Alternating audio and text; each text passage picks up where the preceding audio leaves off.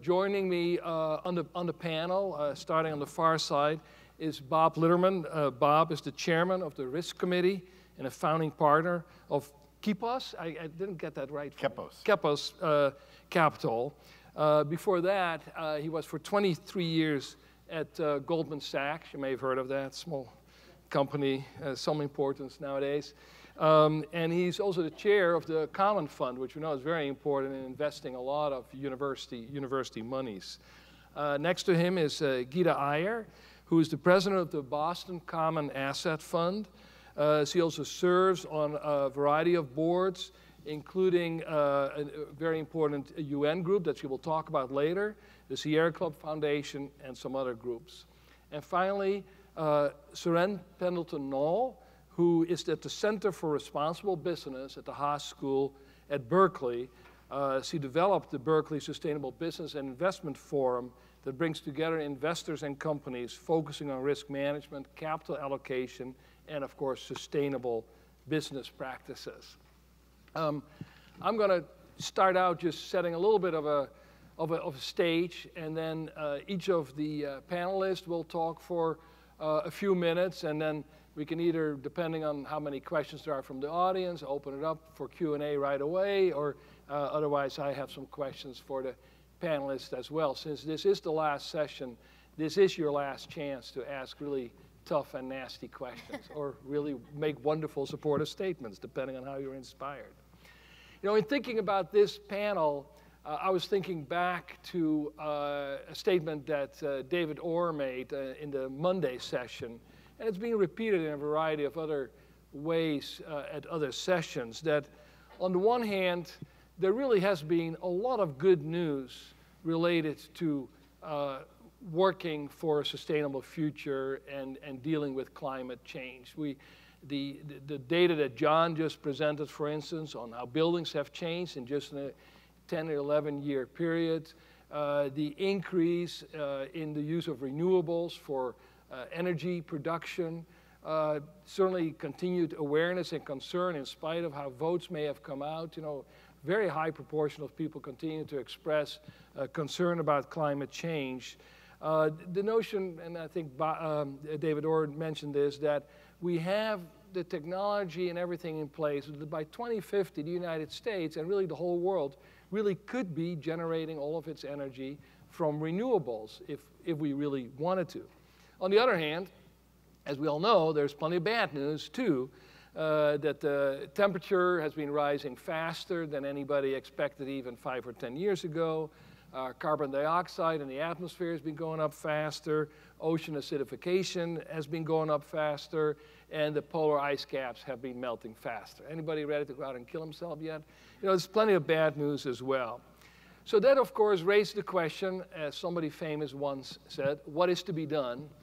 Uh, and, and very importantly, who should be doing it? Uh, which sectors are we looking at to really lead us?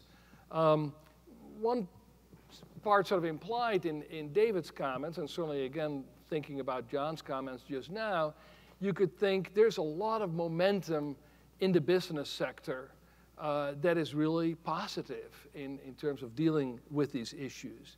So one question we could ask, is that strong enough to keep us going regardless of what might happen uh, at any one moment with, for instance, at, at, at the federal level. Um, on the other hand, people have said it, especially in light of what's happening at the federal level, that there's a tremendous amount of energy and initiative at local levels. State houses, mayors, not-for-profits, higher ed sector. Uh, there's so much innovation and commitment that, again, that will continue no matter, matter who sits in the, in the White House. Is it possible that uh, the White House will, in fact, come to its senses and that people will realize that climate change is a real and important and that the feds can't withdraw. Yeah, maybe they'll tinker on some of the things that they find most obnoxious, but they really can't tinker with the main aspects of the Paris Accord and everything else. I think in certain ways, regardless of the rhetoric, we'd all have to admit that the jury is still out, and there is just a great level of unpredictability. And then finally, again, what is the specific role of higher education? You know, how much do we focus on operational improvements? How much do we focus on our own investments? And as you all know, we have the Intentional Endowments Network, which is sort of a spin-off of Second Nature, and they have a workshop following uh, this session after lunch to continue to really think about how do we use our endowments in a more productive way for a more sustainable future. How much do we focus on our role as educating the leaders and investors uh, of, the, of the future?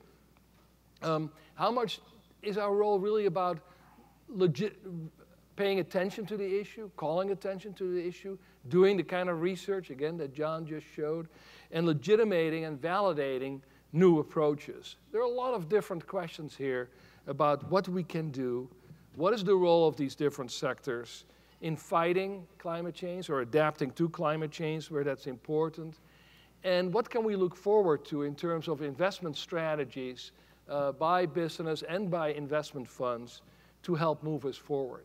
So with that, let me first turn to Bob and ask him to give a perspective from his side of the various tables, and then we'll move on to Geeta. Yeah, thank, thanks very much, Wim. Um, so my perspective, I, I, come at this, I was formerly the head of risk management at Goldman Sachs. I'm an economist by training and a financial engineer. And, uh, and, and the way I look at it is very simple and straightforward. And, and what it is, is that uh, you've got to think like an economist historically people have thought were, uh, you know, that fossil fuels are a scarce uh, resource, that uh, we might run out.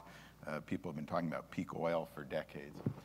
What people are realizing now is that the reality is, is far different. That the scarce resource is the atmosphere's capacity to safely absorb emissions. It's a safety issue, it's a risk management issue, and, and that has profound implications. We have not yet priced emissions globally. There are a few venues, but uh, when you look across the globe and add it all up, the reality is that the incentives to produce and consume fossil fuels are still many times, about six times bigger than the incentives to uh, reduce emissions. And so globally, the policy foot is still on the accelerator. It hasn't yet uh, hit the brake. And, and another thing that people don't understand is that when we hit the brake, it's not going to be an ease on the brakes scenario. That, uh, and this is sadly uh, a legacy of poor economic modeling that for decades has ignored the risk factor. I, I like to tell the story, a very short story about when you're, you're uh, riding a bike in the mountains. And uh, let's consider two different scenarios. Uh, by the way, I like to ride bikes, so that's why I like this uh, analogy. But uh, one is, it's the first time you've been down a road, and, uh, and you don't know what's coming. Uh, all of a sudden, you realize that there's a sharp corner ahead, and you might be going too fast. there's a cliff. You don't ease on the brakes. Now, if you've been down that road a hundred times, you know where that corner is, and you ease on the brakes. And that's how economists have thought about they've, they've said, let's assume that there's uh, uh, damages up ahead. How do we price it? And the optimal policy, if you know what the damages are going to be, is an ease on the brake scenario. The brake, by the way, is the price of emissions. And so you would slowly raise the price of emissions. And that's what economists thought for a long time. What we're realizing now is that when you have that uncertainty, you don't know how bad this, this outcome might be and you have to be prepared for the full distribution of potential outcomes, in particular, the worst case scenarios. Then you don't ease on the brakes. You hit the brake hard enough that you're very confident you're going to be able to slow down and avoid that, uh, that uh, disastrous uh, curve up ahead. And, and, that's basically, I'd say, where the world is today. I, I tend to be an optimist, but also a risk manager. You know, when scientists talk about worst case scenarios, people say, oh, they're alarmists. As a risk manager, that's your job to think about the worst case scenario and what to do about it. And the answer is we're going to price emissions. It is insane not to be pricing emissions. We're going to look back at this period of time and say, how could people be so stupid? And, you know, when people ask, how serious is it? Uh, the way an economist answers that question is something they call the social cost of carbon. I don't really like that uh, terminology, but it's, it's an important concept. It's an answer to the question, how serious is this problem? If the uh, expected discounted value of the damages created by the marginal ton of emissions is uh, a number, it's a, it's, a, it's a monetary value, and you can look, is it $2 a ton or is it $200 a ton?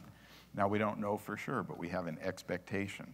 And uh, the IPCC has done a lot of work. Uh, U.S. government has done a lot of work. No one knows exactly what the social cost of carbon is. U.S. government estimates $40 a ton. The IPCC says, well, you know, could be as low as $2 a ton, could be as much as $200 a ton. But the IPCC made a very important point. They said when you have that uncertainty, you have to be cautious. You have to err on the side of the high end. In other words, the real question is just a framing.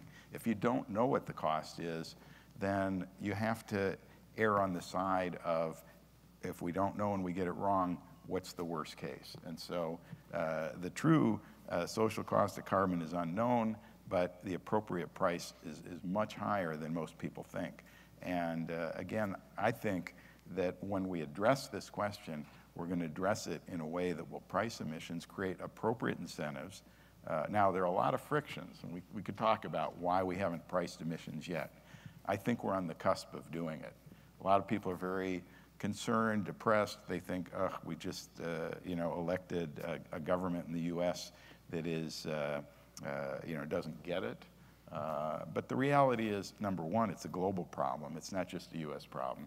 Globally, we've, we've recognized this. The Paris uh, Agreement, uh, a little over a year ago, it's not going to go away. The, the countries of the world are moving in the right direction. Uh, we could talk about what India and China and the rest of the, the world is doing, but uh, they're all moving in the right direction. And I'll tell you, uh, you know, there are some good people in the U.S. government. When you talk to uh, Republicans in the privacy of their own office, they'll tell you they understand it's real. They're not in denial. They know what we have to do is to price emissions. But they say, Bob, don't ask me to speak out. I mean, there are some frictions, and part of the frictions, we could talk about this, is the money that the fossil fuel industry has funneled to prevent appropriate pricing of emissions. Now, we're going to talk about investments here, and I, this is kind of a long way of leading into there are bad actors out there. I'll tell you, you don't want to own those companies, okay? Now, there's two reasons why you don't want to own those companies. Some of them are just, it's, they're morally corrupt. And let's name names. ExxonMobil. We can talk about what their history has been of funding deniers for decades. And they knew better. Let's be honest. You go to their website, they're still lying. Okay? That's the reality. Rex Tillerson says, well, it's a real problem and we should price emissions.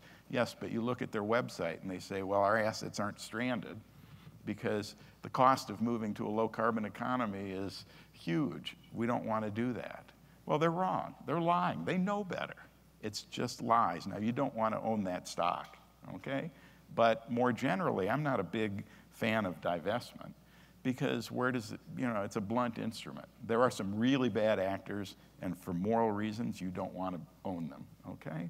But, you know, I, I drove a car here today. I burn fossil fuels. We all do. It doesn't make me immoral. What we need to do is we need to create these incentives. We need to price emissions, and we, do, we need to point out those who have been against that and who have been funding deniers. That's really bad. But more generally, let's talk about stranded assets for just a minute. Uh, you know, when we price emissions, and I think this is going to happen much sooner than most people expect, there's going to be changes in valuations. You know, you've already seen the coal industry in the US has gone bankrupt. Okay, so that's the first wave. Where it is now, the front edge is expensive oil versus cheap oil. And most people don't understand this. But Saudi Arabia today is sitting on, I don't know, 70 years, I've read, supply of oil. And it's cheap oil. It costs them, you know, probably less than $2 a barrel to pump it out of the desert. So think of them as just having a reservoir. And the question is, how much are they going to pump? As an economist, the answer is it depends on, now this is just value maximization. If you own that reservoir, you pump uh, oil today if you think you're going to earn more in a discounted basis than if you pump it in the future. So it's all driven by expectations of the future price of oil. Saudi Arabia now understands that the scarce resource is not their oil. The scarce resource is where you're going to put those emissions. So what do you do? You take market share and you do an IPO of Aramco. And that's what's going on. So this is the reality. There is a permanent glut of oil now. That's not good news for businesses and countries that are in the business of generating profits from expensive sources of oil. So that's Russia, that's uh, ExxonMobil. You know, there's, there's, you start to understand some of these global things that look strange, like the Republican Party in bed with the Russians. Why does that happen? They're both uh, owners and defenders of expensive sources of oil. And as an investor, you don't want to own that. You don't want to own stranded assets. Three years ago, just to finish up, I'm sorry I'm taking so much time. Three years ago, the World Wildlife Fund said, What should we do with our uh, meager reserves? Uh, should we divest? And I said, No, let's not divest. Let's hedge st stranded assets. It's very, we, we entered into a, uh, a derivative instrument, very simple, a total return swap. We receive the return on the S&P 500, and we pay to a counterparty. Uh, our counterparty was Deutsche Bank. The total return on uh, coal, tar sands, and uh, the oil majors. And uh, that swap is up 65% in three years. We don't have any other investment that's done as well. And I'll tell you, it's not too late to get in on this. You can either sell your stranded assets or hedge them the way we did. But, uh, you know, we'll talk about some of the impediments to endowments uh, moving toward the green economy. Well, one of the impediments is they're worried about their fiduciary responsibility and they're worried about uh, maximizing the value of the endowment. Trust me, get rid of your stranded assets. They're, they're, gonna, they're, they're not going to perform as well as the rest of the market. I'm, i think the other panelists are going to talk about investing on the green side, but you can also get rid of the brown side. Right. And it's, it's for good economic reasons. You just have to understand where we're going. So I'll stop there. Great. Just remember, past performance is no guarantee for future results. but I also like having an optimistic risk manager. I've never met an animal like that. It's uh, sort of like a dromedary. That's great. Uh, let's turn to uh, Geeta. Thank you, Bob. That was a great, uh, a great beginning to a conversation that we need to have. Like all of you, I think uh, we've been in a mix of fear and excitement. Uh, fear about what we have done and excitement about what we can do or what we are about to do. Um, I feel that uh, very similar to the endowment investor's uh, dilemma is the citizen's dilemma. So we invent these beautiful systems uh, free market capitalism, um, you know, uh, representative democracy, shareholder capitalism as well, ownership capitalism, and then we let it atrophy through our apathy and lack of participation. So today is our wake-up call in that regard. I feel that the energy uh, and the optimism that Bob's conveying is in part, I, I actually am straddling the fear and hope in that regard. I certainly hope that they will surprise us and do the Nixon to China and price carbon. Um, but I also know that there will be much more, uh, many more years of cheap oil coming on online thanks to lifting of sanctions on Russia. I mean, all of the things that you spoke of. Uh, so the price uh, support that a $100 barrel of oil provides to clean energy will not be there, and cheap oil will become much more addictive and hard to switch from than it would be at higher prices. Um, so mixed blessing. It just means that we uh, need to remind ourselves and that we are here to invest for the long term and that uh, the discussions around divestment are, many of them, really wrapped up in the short term. D discussions of fiduciary duty, sadly, are often wrapped up in short-term thinking and worries about um, how will we uh, look uh, to the committee, uh, you know, when we face our, uh, our donors next quarter, next year, next year after next. If there's one group that has a huge advantage over them, that's all of you. Um, I cannot think of a, an, a group with the longer time horizon than you. Um, I often remind people that Harvard was Harvard, doing exactly what it was doing. It's doing today. When the Taj Mahal was being built, and God knows there's not one institution from that time uh, that I could recognize uh, in, in, in and around the Taj. So thank God for that, though. It was a, a tough, um, feudal, and difficult time. So we've all moved on. But universities uh, and their beneficiaries, the, the, the obligation to serve the needs of today's students as well as tomorrow's should ideally underpin fiduciary duty and ultimately end up being the support for ensuring in the investment objective articulation um, that the obligation is to provide the same quality of basket of goods and services. For a number of years, we all had in our investment objectives, right, a commitment to protect uh, against inflation. Um, and also, whether or not there was inflation in the world, we continued to march on saying this was something that we had an obligation to protect against because our obligation to future generations mandated that we do so. So if you just amend that to include a quality of uh, goods and services, there would be absolutely no real conflict with fiduciary duty obligations. Um, I think that the time horizon issue is a real one. Um, I'm kind of building it around all the many things, many wonderful uh, points that Bob uh, spoke about. The time horizon issue is one that has prevented us all societally from facing and uh, changing what we do. But there's also another challenge, which our speaker uh, before the panel uh, spoke about eloquently, and that is a design problem. We've built a very well-crafted system optimizing to the wrong set of constraints, and now we need to change and rebuild to a new set of constraints we will do so. And that's why I think I join Bob in being the optimist. I believe it's a problem that, with or without policy, companies are already addressing, uh, our speaker and sponsor being one example, uh, and many others around, around the world. And therefore, the opportunity to invest in the solutions exists and is here today, uh, both in terms of product leaders as, as well as process leaders. So this caveat that has always annoyed me, you know, what is the give up to being a sustainable investor? We're talking about having a future to invest in. In this political season, I don't mind borrowing another famous uh, campaigner's slogan, but a future to invest in is made up of um, opportunities in mitigation, opportunities in adaptive response, but also opportunities in prevention and efficiency. Um, so to use all tools uh, and to use a uh, combination of people and planet considerations would be the optimal way. And that's where the integration of environment, social, and governance issues has come in, in a very big way towards uh, selection of uh, equities. I think there, was a, there were a couple of sessions in the earlier days around how to bring uh, this issue into everything that we do. And indeed, we need to use every aspect of our lives, every tool at our disposal, and finance cannot be a bystander to that.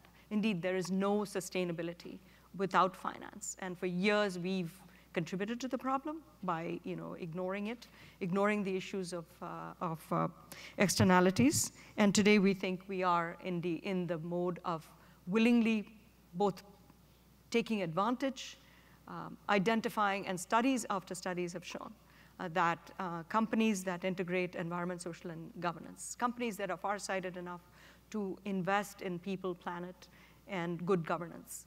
Uh, are, are better run, have better operations, are in general better financial investments. Over time, we expect the market to price these. They get re-rated and recognized in the market. And this is uh, ultimately the price that people talk about, meaning you get to the same place by a slightly different path, and it's not as, uh, as uh, predictable. Uh, the issue of divestment, I agree with Bob. Um, a blunt instrument, but at the same time also a, a, an area that does not necessarily have a financial cost. Uh, here I would agree with, uh, with Bob. Um, in fact, it goes against all theory. If I could say with reliability that one sector, namely energy, would always have uh, opportunity cost, uh, it can't hold, right? Because money would flow to that sector and would be arbitraged away. So the reality is that no one sector and indeed not a dying sector like the one that uh, we now face, um, could have such huge opportunity costs. So it won't be for financial reasons that you will resist divestment, but I also want to uh, not overstate the impact side. Where impact comes from is from demand reduction, from the use, uh, the reduction in the use, and a policy step like pricing carbon is an elegant way to bring that about, is a, is a one-step way of bringing that about. However, with, through a thousand different steps, we are heading there with or without policymakers' support. And all that this will do, if indeed we get pricing, is to push it along. Uh, we can't drop our guard, and I feel this is maybe the hidden gift of the uh, political transition. It's on us. Uh, it's on us, it's on uh, the emerging markets, it's on a number of uh, other players within, within the uh, investment spectrum.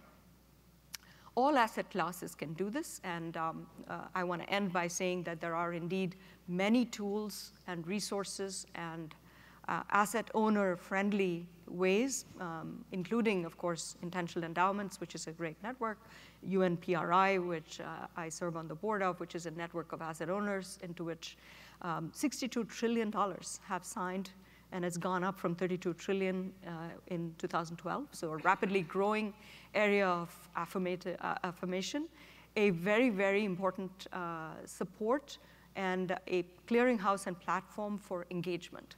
I spoke uh, at the beginning about our lack of engagement, our lack of voice, our lack of ownership, and our lack of willingness to um, convey our preferences and our universal owner concerns to corporate managements, and that these tools and these collaborative enterprises are growing. In, the in all over the world, stewardship codes are being adopted. Uh, exchanges are taking on the role of uh, mandating reporting on uh, what used to be considered non-financial, uh, environmental, social, and governance issues.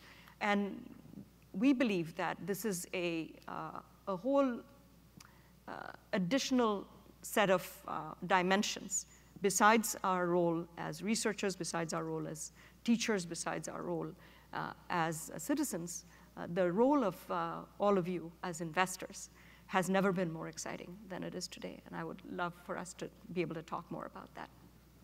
Great, thank you. Yep. Seren. Um, so I want to use kind of a bit of this opportunity as the token millennial on the panel to offer some perspective of what I see coming through the pipeline and also um, how our generation is going to kind of be shaping these investment decisions um, very quickly, if not now at the moment. So first of all, I just want to share how the events of the last 20 to 30 years have impacted the way that we are going to be viewing investments. So if you look at the millennial generation, of course we grew up on Sesame Street, Captain America, but 9-11 happened when we were in high school. The 08 crisis happened when we were graduating college. We have consistently seen systems that past generations have trusted in fail. And we have seen this in pivotal times um, growing up. When we're looking for jobs, we've seen pensions fail, we've seen the Wall Street market crash. Um, and I think that's lended itself to us questioning everything, questioning the status quo of these are the markets that we trust in, um, that investment decisions in our 401k are automatically correct, um, that the companies that we're working for are going to be doing the right thing without us pushing back on it. And I think that that is allowing us to step up and question things that have traditionally not been questioned. Um, I think that transcends just past the traditional investment opportunity, but also looking at what else is out there. I think there's an, increasing need for impact investment. There's increasing opportunity in social impact bonds. There's increasing opportunity in ecosystem services where we haven't seen the flow of money in these kind of creative ways that we are seeing now. I also think that in terms of um, understanding the impact, the fiduciary duty questions is not going to be as much of a challenge for our generation. We understand that socially responsible investing has the same return, if not more return, than traditional investments. We know that investing with the planet and people in mind is not only the right thing to do morally, but is financially responsible in the long term. Um, and I think uh, tied to that is also the understanding that these systems are open for evaluation and open for innovation in that space. Um, one caveat I would say about the divestment conversation that the two of you were having is that, yes, I don't think that's necessarily the most beneficial financial tool that we have because it is so blunt, but I would advocate for the fact that it is bringing about discussions.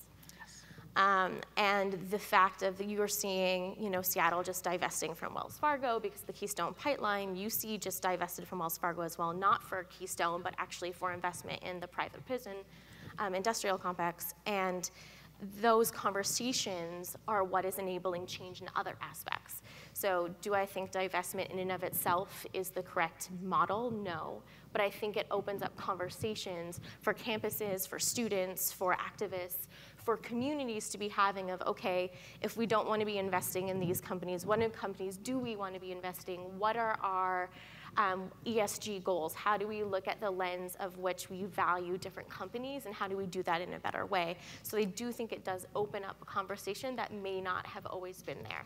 Um, and looking at um, portfolios holistically and not just looking at, okay, let's divest from these ones, but what can we do a full portfolio? How can we do a makeup that is bettering the environment and communities and kind of the global impact?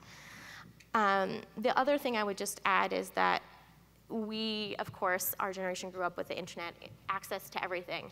And that's one thing I see a lot of innovation possibility in, in terms of endowments, in terms of 401ks, is that it is still very um, not transparent in terms of you can't log into an app and see all the companies that your 401k is in and easily switch out if you don't want to be in this company and that company. And there's a lot of hesitation, um, I think, in my generation of trying to automatically just invest in these big portfolios and looking at, okay, but actually I want to invest with this mindset and this lens. Um, and I really care about um, social equity. How do I invest in companies that are concerned about that? Or I really care about climate change. How do I invest in that? And I think we're going to be seeing a lot of innovation in the types of financial investments you can do. You're already seeing that in social, um, in student loans with the onset of SoFi and other ways that you can um, remove your student loans as opposed to just the traditional payments back to the government. So I'm, I'm excited about the, the opportunity that's being presented, and I think also the demand that um, not just our generation, but people are now saying, like, this is not acceptable. The way we've been doing things is not acceptable. The fact that we're not pricing carbon is not, not only not acceptable, but it's, it's stupid. Um, and I think we're going to see more and more people saying that why have we been doing it this way this whole time? It doesn't make sense. It's not long term thinking. It's having horrible impacts. And it's not only affecting our generation, of course, it's affecting future generations, but we also understand, I think, we have the unique ability, our generation, of making uh, those connections between sectors, as David Oren and, and, President Knapp had said, that we're the weird generation that can jump between the nonprofit and the for profit and the activists and see all those connections. Um, so I think we're not going to be quite as siloed as past um, investments have been of like let's just look at the financial returns of this and, and, and be done. But rather like what what are the what's the holistic approach to this? What's the full impact that we're having? Um, just in terms of the academic side, I wanted to just do a quick shout out of what we're doing at Haas to kind of meet the student demand that we're having in this space. Um, I would say that one thing that we're really excited about that we have our Haas Socially Responsible Investment Fund, which is the first and largest SRI student-run fund in the United States. It's over 2.6 million dollars. Just last year, students um, it outperformed the Russell 3000 by 53.5 basis points, um, and it's an entirely student-run portfolio. So the students choose what stocks they're investing in, they monitor that, they report out to a senior advisory board. And that's one way where we're giving our students hands-on experience in managing a traditional portfolio and how do you make those investment decisions as opposed to just learning theoretically about that. I do think there is more opportunity to be doing that hands-on learning in other investment spaces, in impact investing, in social impact bonds, um, in valuing ecosystems. Um, and I think there is a big opportunity for education uh, institutes to provide that learning environment, to provide that hands-on experience, and to provide experimentation. Because these are people who are going to be running these portfolios, running these investment decisions in the next 10 to 20 years, so they need that, that opportunity to get dirty, to make mistakes, and to figure out what, what works and what doesn't. Thank you. Thank you. Let me, let me ask the audience a question. I can go like this so I can actually see you. How many of you are at institutions who have adopted either a uh, no non-carbon uh, you know investment or an ESG investment lens? Okay, and how many of you are at institutions where uh, that haven't adopted it, but where it's a, a, discussion or it's been asked for or demanded? Okay, so there's a few more. So, so let me use it then to go back for a minute to the, in a way, the narrower question. It's a very important question for the institutions here. You've, you've spoken uh, about both that uh, divestment is a blunt instrument, uh, but on the other hand, it probably doesn't hurt either. And symbolically, it's important and good, but that a better way might be a broader sense of both getting rid of bad stuff and proactive uh, ESG, uh, environmental, social, governmental investments. Can you just elaborate a little bit more on what you see as the pros and cons of each of those approaches, both from a financial perspective and to the extent that you have a feeling for that, from sort of the symbolic and organizational change perspective? You want me to start? Whichever way, sure. Uh, sure. Well, uh, just elaborating on what I said before, I think the easiest uh, justification is that stranded assets are overvalued. Now, I, have had a career where I uh, certainly looked for an equilibrium approach to investing. And so the question has to come, well, how can you say they're overvalued? Why isn't that already built into the marketplace? And I guess that reflects my optimism, if you will, that we're going to price emissions very, very shortly. And, uh, and, and when we price emissions, the other thing is, as an economist, I know how how important that is. It, it, it's not just a small change. Mm-hmm. It's, you know, we're moving to a low carbon economy, that's for sure. But it really has to be driven by the incentives that we create for not just individuals, but for businesses, for governments, for investors, for entrepreneurs. Uh, this change is going to be quick and it's not anticipated. And so that's why I think those stranded assets are overvalued. And you've seen it in coal. I mean, I remember three years ago when we put on this stranded asset swap, some of my Goldman partners said, Oh, Bob, you know, coal is very cheap. It had underperformed by 18% annually for the previous three years. How can you be selling it now? Well, of course, mostly it's gone bankrupt since then. And, uh, and so, but what I would say is it's not over yet. Yes, obviously it's been recognized in the coal industry. It has not yet been recognized more generally. And so there is an opportunity, I think, here to sell these stranded assets or get them out of your portfolio or hedge them. And then on the other side, what's going to do well? That to me is a harder question. Is it going to be nuclear? Is it going to be carbon capture and sequestration? Is it going to be wind, solar? All of the above? I would say all of the above is not a bad investment strategy. And yet, people who have invested in green businesses, you know, 10 years ago have not done well. So uh, there is uncertainty, there is risk, but, uh, but I see this change happening quickly. And I would just say one more thing um, about policy in the U.S. While it's, it's hard to be optimistic, um, the reality is the Republicans want comprehensive tax reform. In order to get comprehensive tax reform, you need what's called a pay for in Washington. You need a source of revenues. The only source of revenues out there of significant size is a fee on carbon. A tax on carbon could bring in $2 trillion over the next 10 years.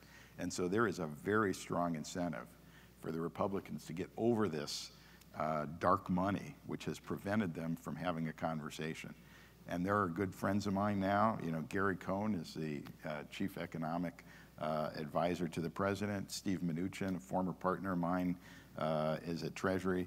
I know there's been a lot of, you know, politics going on. These are smart guys, and let me just say, the partners that I know from Goldman Sachs, they understand risk management, and this is a risk management imperative. We absolutely have to slam on the brakes, and that's going to happen whether it happens in the next year or not. Most people think that would be, you know, no one expects that. I think it's very possible.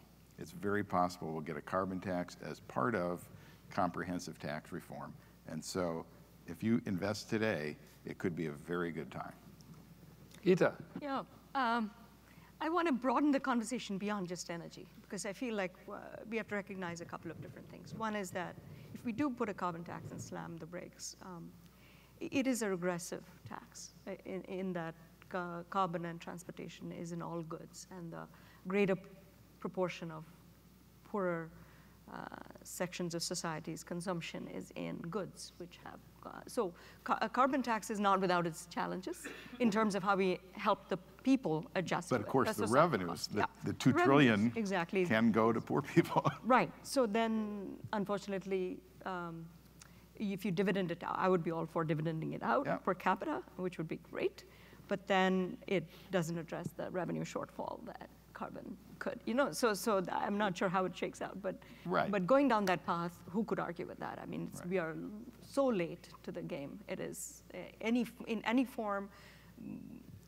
The argument over whether it should be 40 or 60 or whatever, some price right. would be would be a great place to start. No question there. However, the stranded assets are not just in energy, right? Because anything design, I remember I, I, couched it as a design problem. So there's a whole host of other things that are going to be stranded as well. Uh, things that were hooked to that old uh, form of optimizing to a now outdated set of constraints. And therefore, uh, a broader application of environment, social, and governance, we think, positions you to be um, cognizant of the, you know, the big energy guzzling, whatever, the building that is no longer uh, not only good efficient, efficiency-wise, but also now productivity-wise. So, you know, people and planet will line up against a whole host of things that uh, can become obsolete and therefore stranded. And then the last thing is that there is so adapt, uh, adaptation and uh, planning for it among, and there will be different winners and losers among all industries uh, as a result of either pricing carbon or otherwise addressing this challenge, however we address it. Uh, there's also the issue of carbon risk, which resides not so obviously in places where carbon resides. Banks uh, that you spoke about, you know, banks that have lent to many of these things, um, including banks that are, let's say, very engaged with the Appalachian region, which have, uh, you know, had non-performing assets rise. Insurance companies that are underwriting buildings in southern Florida. I mean, God help us, why?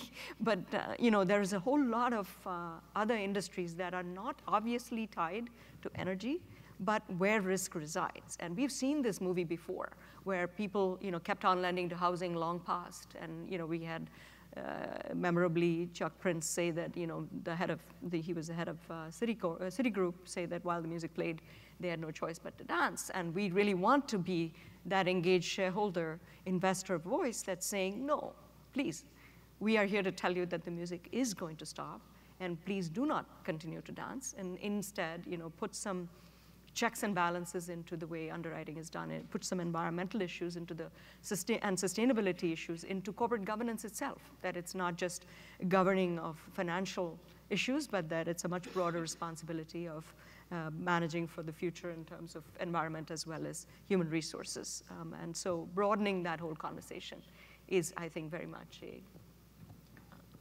Seren, how did you how did this play out at Berkeley? And then let's take a question from the audience. Sure. Yeah, I was going to mention that too of just kind of making sure that they the understanding of the E part of ESG is impacting the S and the G as well, right? You can't you can't just look at the gas companies in your portfolio, um, the banks that are funding them, but also looking at the companies that are reliant on cheap oil for the production of their materials. Um, auto manufacturers, um, any materials company. Um, and I think it's also looking at what are, what are companies that are innovating in this space? What are companies that are building for climate resiliency? What are the companies that are understanding that even if we do a carbon tax, even if we go 100% renewable, we're still going to be having floods. We're still going to be having these um, massive droughts. What are the companies that are building in that space in terms of infrastructure and building management? Um, that understand how um, correct understanding of climate resiliency is going to impact their entire business operation. So I think doing that thorough assessment across across the ESG matrix is imperative for, for any portfolio manager, any endowment, um, because that is that is they're all so closely tied that it's impossible to just pull out the carbon piece of it or, or, or the climate change aspect of it. It's all it's all relevant to that. And, and just on that one piece, I wanted to share on just in terms of our students' research, in terms of their portfolio, their ESG, they wanted a better understanding of what the social aspect was of ESG. That's the human rights aspect isn't as easily tangible as does this company have a lot of coal in their portfolio or not, right? The human rights aspects is a lot harder. And so they were drilling down and down and down of like, what is it at a company's operation in terms of human management that outperforms? And one unique finding they found was that it was specifically training of employees. So companies that had good HR practices and gave employment like in enhancement opportunities for their employees outperformed companies who didn't.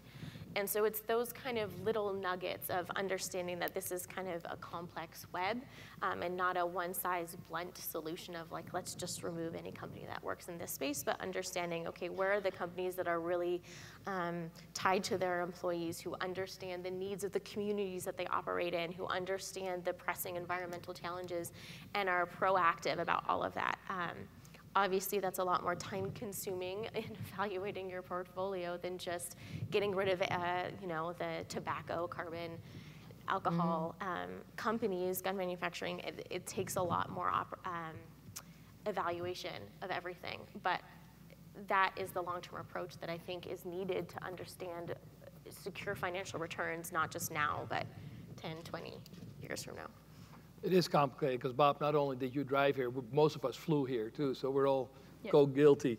Let's see, do we have some uh, questions uh, uh, in, in the audience? Uh, over there. Great, I'd like to thank all the panelists for their remarks. They were excellent. I uh, fully agree with building uh, the cost of carbon into transactions, whether it be through a tax or otherwise.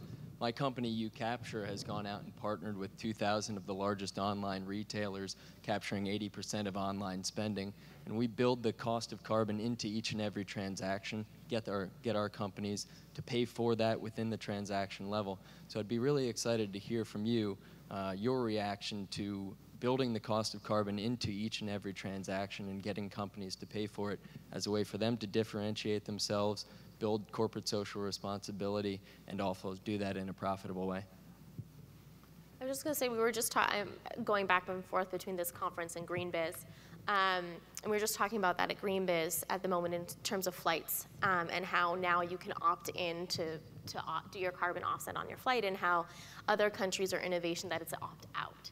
Um, where in Australia, any flight you book, you automatically have the carbon um, tax put into it and you can opt out of it instead. And I think that's, that is an, an innovation in a model that I think the US needs to also adopt that in any sort of transaction, there's that automatic carbon cost added in as opposed to opting into it, but rather opting out um, sure, of our corporate partner, Expedia, is paying uh, to offset the flight, uh, the cost of carbon within the transactions. We offset 337 pounds of CO2 per flight booked through the UCapture platform on Expedia. We have over a dozen online uh, airlines, all the hotels in the world as well, car rental companies. So we're building the cost of carbon into transactions as well. I encourage you to check it out. I'd love to follow up with you after the speech. Thank you. Yeah. I mean, any other comments on? Just, I mean, it's a scarce thing. We, we are in agreement that there's a scarce resource, and that's the carbon capacity of the of the planet. And so, pricing it in any, you know, all sorts of creative impediments to using it without thought uh, are welcome, I think. Yeah, I would agree. And the, yeah. the, only thing I would add is that it's you can't make it voluntary. This has got to be this is a step in the right direction. But this has got to be government policy. It's got to be global. And and you bring up uh, several of you have talked about aviation. I would just say aviation is a very key industry uh, for a number of reasons. But number one, it's got a strong global governance structure. And one of the real problems has been we don't have a good global governance structure to impose a yeah. carbon tax globally.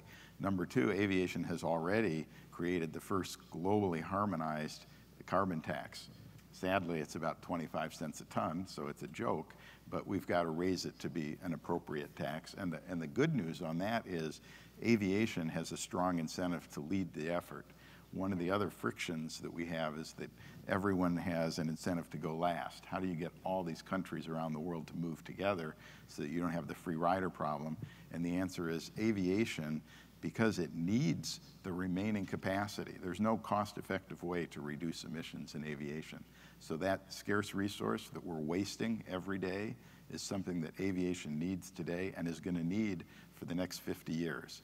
So when we talk about pricing carbon, what we're talking about is a scarce resource that needs to be allocated appropriately across time, and to the highest use, and that means aviation. And so they have an incentive to lead the way, and that will lead to a global pricing structure that, trust me, is coming because not pricing this resource is insane.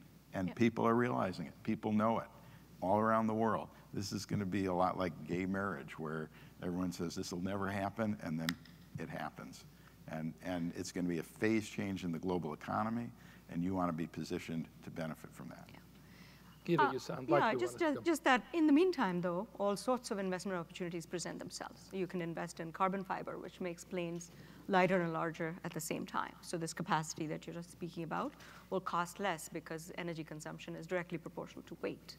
And so uh, you can invest in, uh, you know, improvements in fuel, improvements in the technology that that uh, is used to convert, and and finally, my big hope uh, in video conferencing, which will obviate the need for so much uh, travel altogether. But nonetheless, I mean, the, the reality is that there is a whole host of uh, other technologies that become viable. Uh, what is really remarkable is how little it takes uh, to actually accomplish such a change. The estimates of upfront cost with staggered return to investments are something like 1% of GDP, so of global GDP. And and to be honest, that sort of uh, investment fund funding will be um, will be forthcoming, and the issues of um, you know conversion of existing capacity of retrofitting, all of which will be accelerated more elegantly through a carbon tax, already will start to happen from consumer demand, from uh, business demand, and investor demand. Are there, did I see other questions? Is- yeah, Hello, okay. uh, Lee Rosh, Western Technical College in La Crosse, Wisconsin. So, recognizing the interconnectedness and the complexity, is there a credible, a credible A list and an F list? Is there a credible, I'm sorry. Credible A list and Oh. F list for where we would be investing. Who- Like who are the good guys, who are the bad guys? Yeah, that's right. In- terms of companies or countries or what? Uh, uh, companies, obviously. Where would we? Uh, is there are, are there credible sources? Are other industries, healthcare and others, who are, are considering these policies? Have they developed a, a profile to help uh, target our investments? There, there certainly are A lists and F lists. Uh, I'm, I'm not the expert on this, but I say Unilever, for instance, is just an example that everyone points to, is on the A list. And ExxonMobil is on my F list, that's for sure. That's right. I mean, I think there are uh, growing lists of, uh, on all different dimensions, and um, uh, happy to. There are now available research uh, sources. It's complicated because of the multidimensional nature of the trade-offs that uh, Seren was speaking about. But I did want to add that there is um, uh, there is definitely the potential for us to prioritize which issues we care the most about.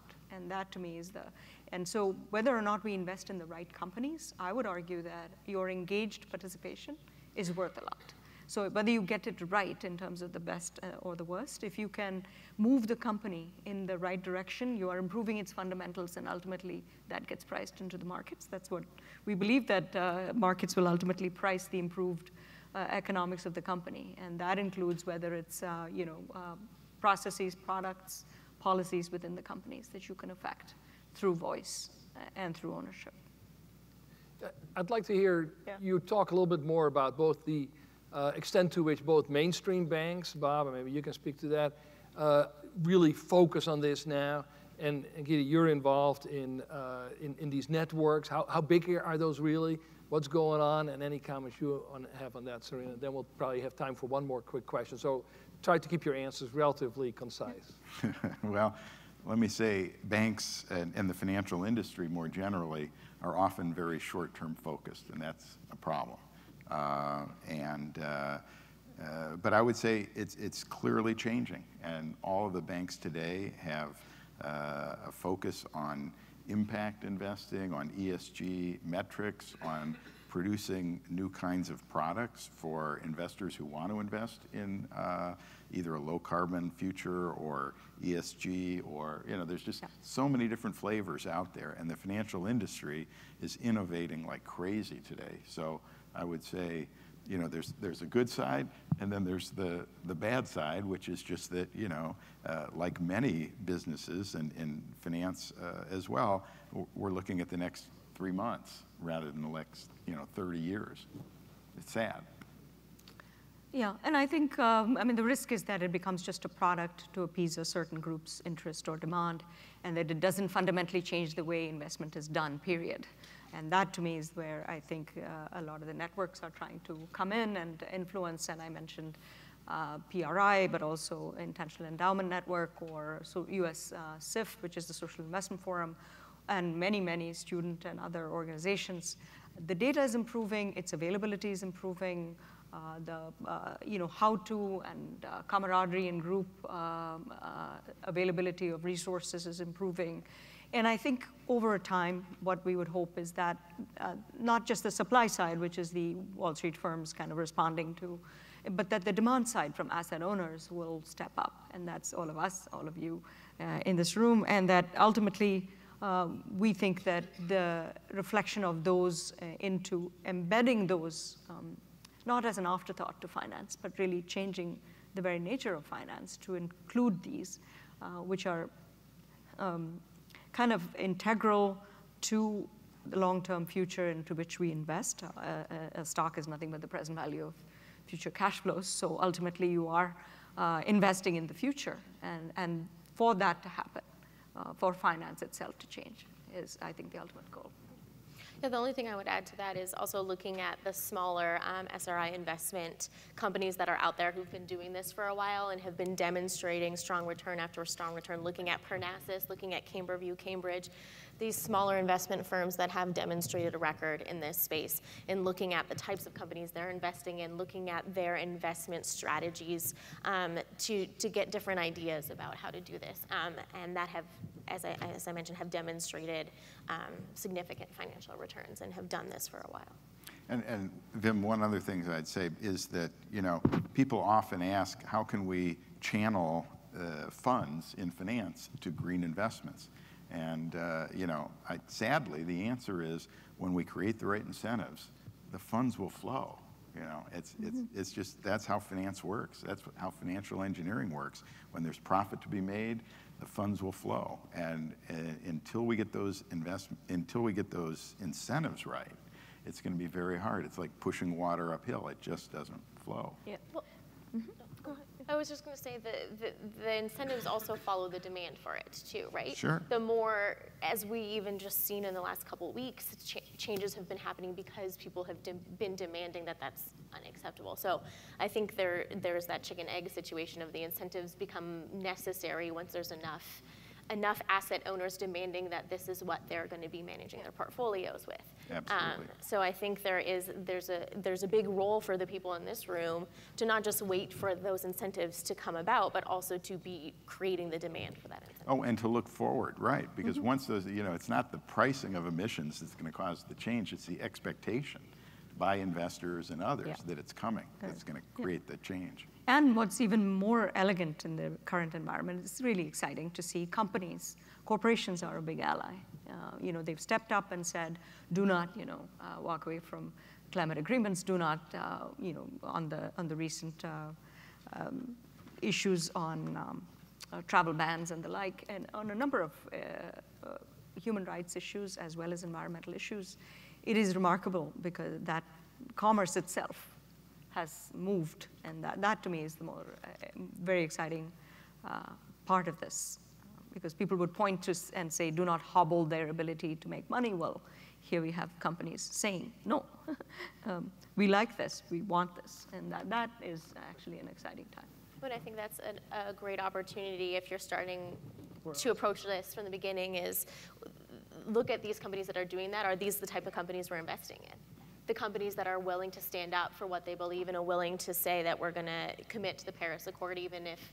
Um, so I think those, like as a starting page, just look at what's the companies that are stepping up right now, and those are the types of companies we want to be investing in. I, I promised the audience one last question, if there is one. Yes, uh, Tony, right up here. Oh, there's one more, I think. Or is there and somebody? There's one more. Um, Linda Lujan, Lamar Community College. I'm also on the Climate Leadership Steering Committee. Um, and this has been a great session. Thank you. I, I've got a question, but I think it's a question more for the network than for you. Um, at our steering committee meeting, we talked about what does climate leadership look like in 2017. We've been at this for 10 years now. So what does climate leadership 2.0, as Tim said, look like now? Um, I'm struck, Tony, by your comments yesterday. You didn't use the term glacial pace of higher ed, but you might as well have. And even community colleges who pride ourselves on being fleet and nimble and fast, we get caught up in the same kind of higher ed bureaucracy. And yet we're in the middle now of one of the most active eras this country has seen in generations. And there's not only a, an urgency on behalf of the planet, but there's an urgency on behalf of what we know as representative democracy. Higher ed plays, I think, a unique role in this space. And if we don't claim this space, I think we're missing a once in my lifetime opportunity um, to step in. I'm remembering from the Boston Climate Summit uh, a refrain that I heard several places. Sustainability is no longer what we do, sustainability is how we do everything. Um, and yet, when we think about our collective impact, I, have heard people ha have caution or fear, institutions saying we can't do it all. And, and they're right. No one institution can do all, but all institutions can do something. And I think that's an important message from the network. Wim, you asked about investments. Some of us didn't raise our hands. Um, that's not a place we want to focus our priority or energy, but other people did raise their hands and say, that's what I can do. So I guess the, the question, not only to the panelists, but to all of us is what, what will you do and how urgent is it and how can we collectively bring all these voices together now in 2017? Well, I, I think that's, that's a great comment, Tony. I'll give you a chance to make a comment as well, and then just give uh, 20 seconds of final comments by the panelists. Uh, Linda, you, you, you just made exactly the point. Uh, when, uh, when George Dyer and I left Second Nature, uh, we decided to focus on the endowments. Why? Because we think that higher education needs to be a model for the rest of society. There's a disconnect between how we invest and the way we operate. So uh, we decided to create the Intentional Endowments Network to help schools figure out how to do this, to answer the question, can you use environmental, social, and governance criteria to make a difference. And in fact, everything that you've been talking about at the panel is about better investing. It's not about socially responsible investing. It's about investing that takes into account all the consequences of what we do. One of the things that we found uh, is that the people that are making the decisions on endowments don't even talk to the, the rest of the, the parts of the institution that are promoting better education, better operations. Uh, I talked to, uh, to uh, the uh, head of investment for a, a, a, school that had a $2.5 billion endowment, and I asked them if they ever got involved in shareholder engagement, and actually, and they said no. We, you know, we think we make this mistaken idea that if we're investing in something, it's for a financial return. We're owners of the companies we invest in. And if we don't take active ownership, which Geeta has said over and over and over again, if we're not active owners, then we are actually abrogating our responsibility. We're abrogating our fiduciary duty if we are not paying attention to where we put that money. So, uh, you know, I think that the, this is the, uh, this afternoon we're having a workshop to help schools figure out how to do this. But the reason that we're doing it is primarily because we think that higher education needs to be a model for every, everything in society. So thank you very much. Thank you, and let me give uh, my panelists uh, one more chance to make any quick final comments. 20 seconds, I'll say, number one, you got to join the intentionally, you know, endowment network if you're not already there. And uh, And, and there's a great uh, weekly uh, email that comes out that says, here's, you know, 20 things you can do. It's, it's just a source of great inspiration. Thank you, Tony. Yeah. Get it. Yeah, I agree with uh, everything you said, and I want to add that you could also be, um, you could be stymied or afraid to go this route because of donors and boards and other constituents that you're concerned about. Delegate it and direct your managers to do this. I think you're well within your power as asset owners to become the the, the catalyzing agent for this type of investing and this type of activism, whether you do it directly or not. And you're clearly not alone. That's And- one of the wonderful things I think about this panel. Just it gave, gave me even a sense of the size and scope of this. Yeah, and the last thing I would add is make sure your students are engaged in this process. Do you have students helping figure out what your endowment's investing in? Do you have students at the decision-making table? And I think that allows a lot of leeway with donors of saying, hey, this is what our students wanted. We're an academic institution and our students demanded that we invest in these types of companies. And it allows you to kind of step away from the politics of it and put it, put it on the, the, the leaders of today and tomorrow. So I think making sure students are at the key decision-making tables and not just playing like their token advice once in a while, but making sure they're there at the center of it. Well, I found this a very encouraging and hopeful session. I hope you agree with me. So thank you very much for your role.